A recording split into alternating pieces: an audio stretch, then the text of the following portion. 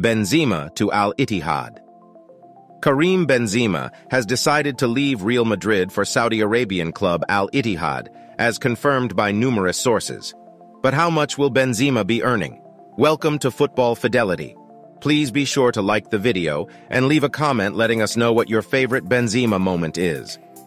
After spending 14 years at Real Madrid, Benzema will go this summer.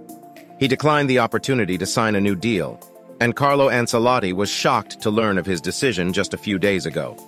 Karim Benzema, the latest Ballon d'Or winner, has chosen to join Al Ittihad, joining the likes of Cristiano Ronaldo, N'Golo Kante, and Wilfried Zaha as the latest superstars to join the Saudi Arabian League. Benzema finishes the season with over 20 goals and assists winning multiple trophies, becoming Real Madrid's most decorated player, having won 25 trophies for the club equaling the record set by his former teammate Marcelo. Benzema has stated, It's difficult to speak with so many emotions, but I want to say thank you to Real Madrid. I was lucky enough to fulfill my childhood dream thanks to the president who wanted me. Karim's new contract Karim has signed a contract with his new club that will be valid until June 2025, with an option to extend for a further year. It is rumored that Karim will be earning up to 200 million euros per season.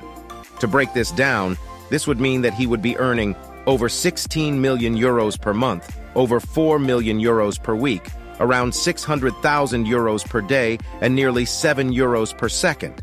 This is crazy! Benzema has spoken about his latest transfer, stating that Al Ittihad is a new challenge for me. It's a good league, and there are many good players. Cristiano Ronaldo is already here. He is a friend who shows that Saudi Arabia is starting to get ahead, and I am here to win as I did in Europe. Karim is set to join the likes of Nuno Espirito Santo, the former Tottenham and Wolves manager, and N'Golo Kante at his new club. We hope you enjoyed this video. Please make sure to leave a like, comment, and share. Let us know what video you would like to see next. Thanks for watching.